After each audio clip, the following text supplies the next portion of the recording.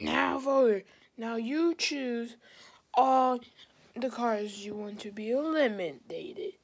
Now talking about the SML Master 17 fans.